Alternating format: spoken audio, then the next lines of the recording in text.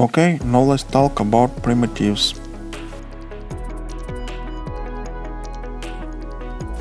You can see that an individual configuration panel appears for each primitive. This means that you customize the primitive as you need and then apply to the scene. For example, a primitive is used here to create the door. In order to easily place a primitive on an object, you should select the checkboxes, click to place, scale to brush radius, and use stroke direction.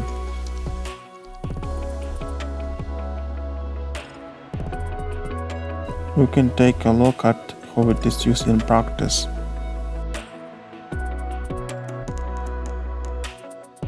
You can also usually use the gizmo to adjust radii, scale, and other parameters.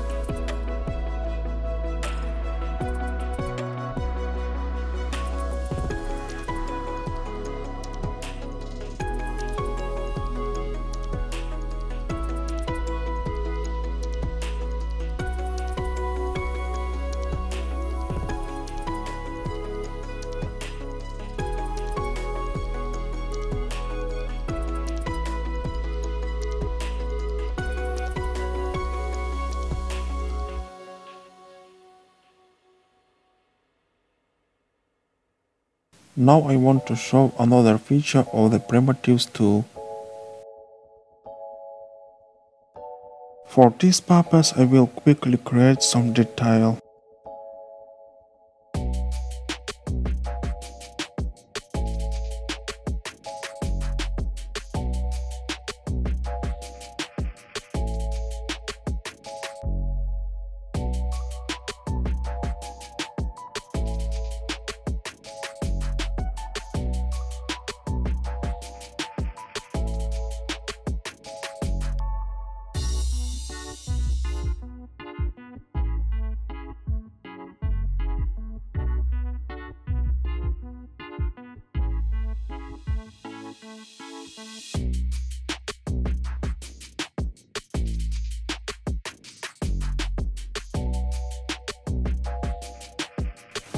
Now we need the polymodels panel.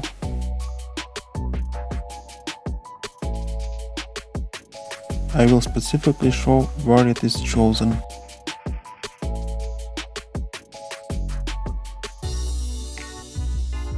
Now drag the created object into this panel.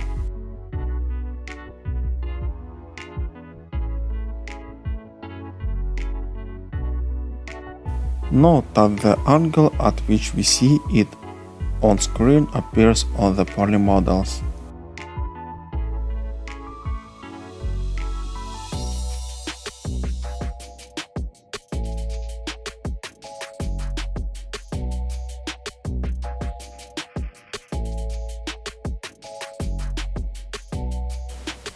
Now select the primitive tab and choose select to plate, select to brush radius, use stroke direction.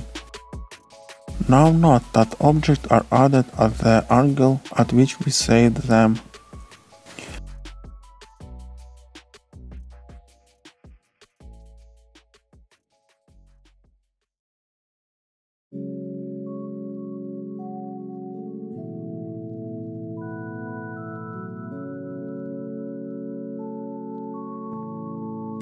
You can also enable Gizmo to adjust.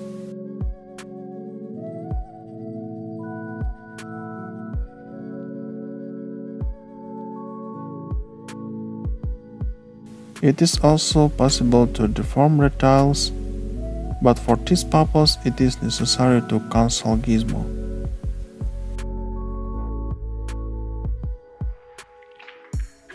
Well, now I propose to see how it was used on the ship.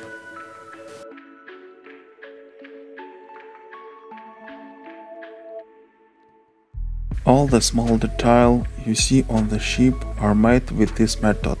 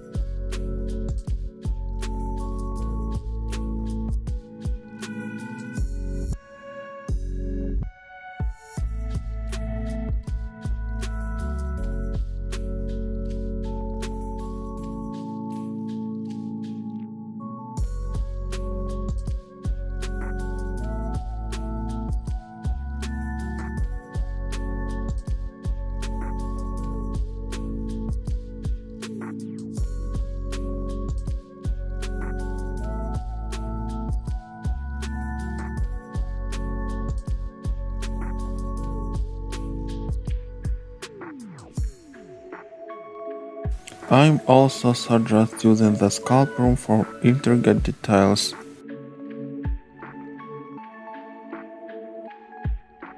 In the sculpt room you can blind a complex detail and then make a topology for it.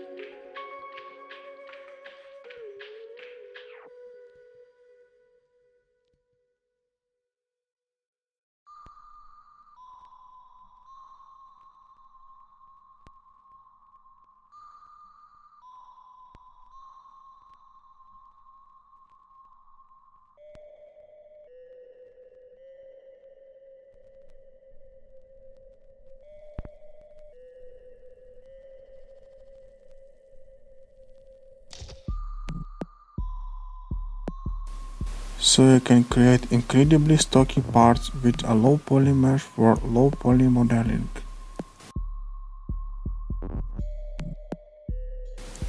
Now I will demonstrate how the sculpt mesh function works. It is in the Mesh tab, Enable Sculpt Mesh. Now we see how a sculpt object appeared inside the created mesh.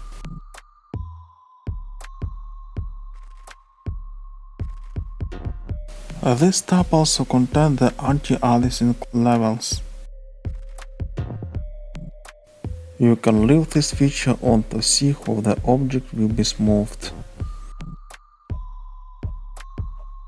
If you have this feature enabled, you will be able to use the tools for this object in Sculpt Room.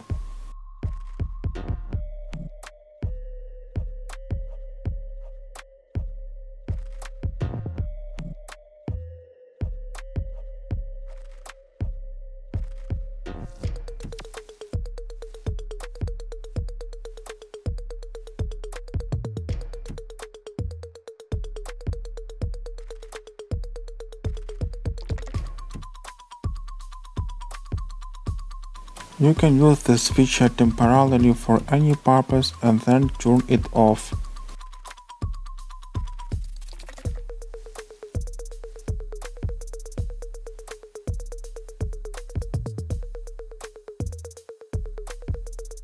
If you want this object to remain in the sculpt room, you need to change the name for it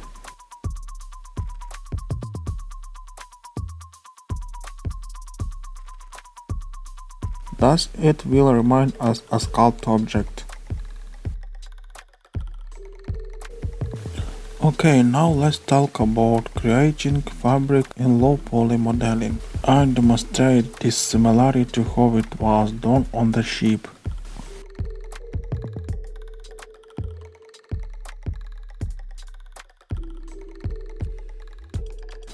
As you can see, the sculpt mesh function is used here. The fact is that to create a fabric you need to go to the sculpt room, because the clothes tool does not work with low poly mesh.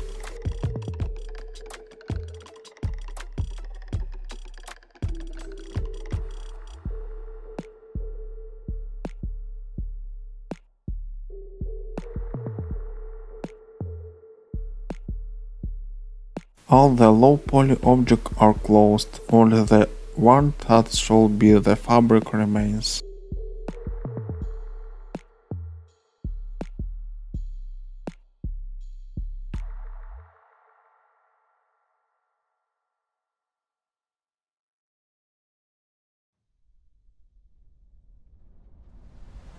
Now you need to go to the sculpt room and choose the cloth tool. Then choose pick from Retopo and start.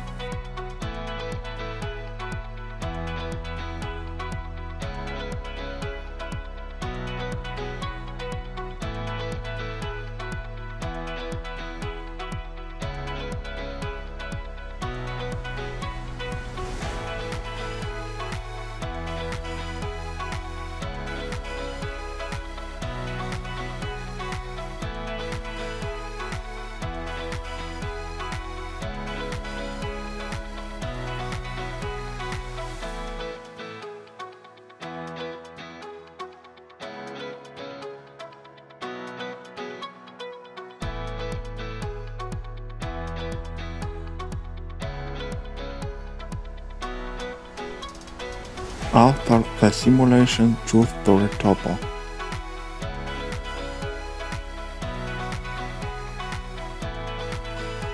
Then return to the modeling room.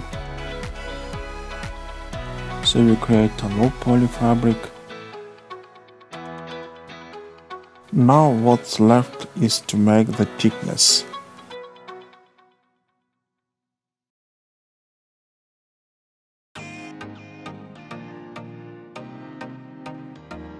Now let's see how it works on the ship.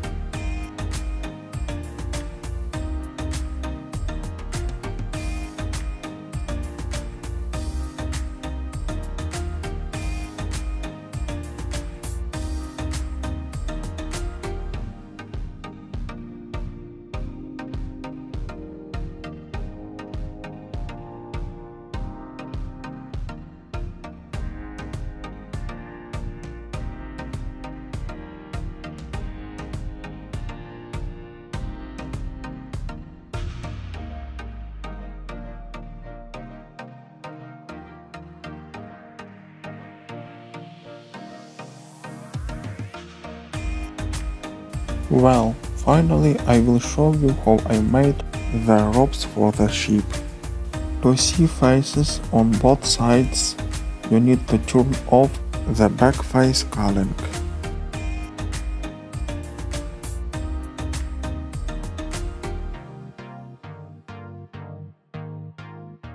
I correct it with the help of the point to poly tool.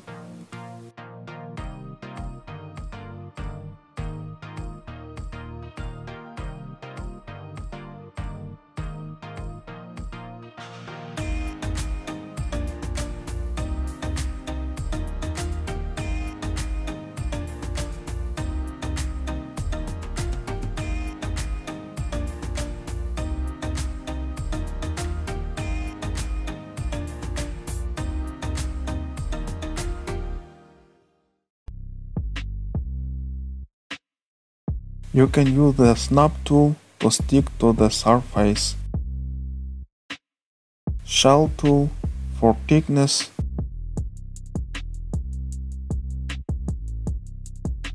And for roundings, I use the bevel tool.